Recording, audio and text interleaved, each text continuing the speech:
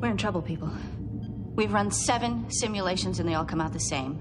The Jem'Hadar overwhelm our defenses and board the station within two hours. Two hours doesn't even give us time to get reinforcements from Bajor. There must be something we overlooked. Major, I'm the last one to say it's hopeless. But given DS9's structural limitations, our available power supply, and the difficulty of defending a stationary target against a heavily armed mobile force, I'd say two hours is optimistic. Well, regardless of the time, the casualties would be appalling. All right, let's say we let them board the station. That still doesn't mean we have to surrender. What are you suggesting? We can, uh, we can hide in the conduits, set up booby traps, prepare ambushes, try and hold out until we can get reinforcements. We can try, but I don't think there'd be much of a station left by the time they got here. That leaves us with two options abandon the station and make a stand on Bajor, or collapse the entrance to the wormhole. I want a third alternative. I cannot believe that we can't.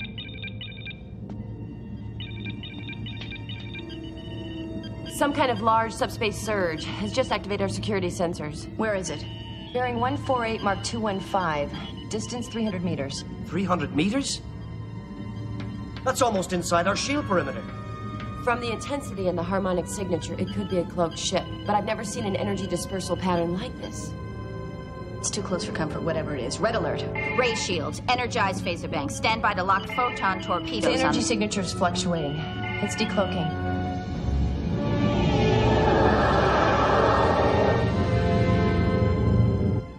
It's definitely a Federation starship, but I've never seen that design before. A Federation ship with a cloaking device? It's hailing us. On screen. Hello, Major. Sorry to startle you, but I wanted to test the Defiant's cloaking device. The Defiant? I brought back a little surprise for the Dominion.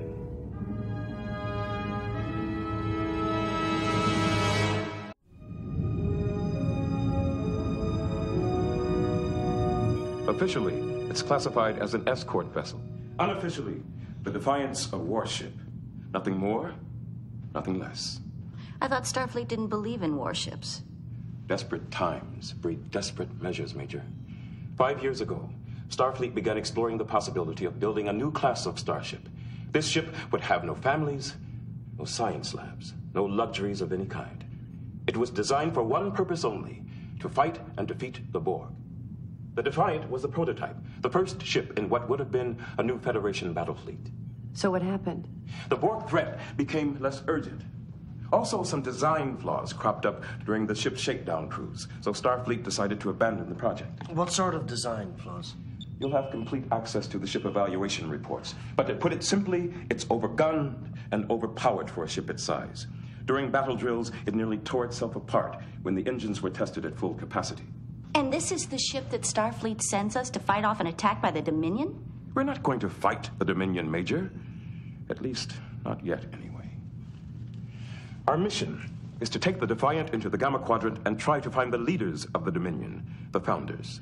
We have to convince them that the Federation does not represent a threat to them. What if they don't believe us? That's why I asked for the Defiant. She may have flaws, but she has teeth. And I want the Dominion to know that we can and will defend ourselves, if necessary. I posted two security officers at the Defiant's docking port, sir. No one will get near the cloaking device without us knowing about it. I wasn't informed about any special security arrangements. The security arrangements were by my request to protect the cloaking device. A few introductions are in order. This is Sub Commander T'Rul from the Romulan Empire. She's here to operate the cloaking device which her government so kindly loaned us for this mission. Romulan interests will be served through cooperation, and my role is to keep unauthorized personnel away from the cloaking device. May I present my officers? This is Major Thank Kiran- you, but I know their names, and I'm not here to make friends.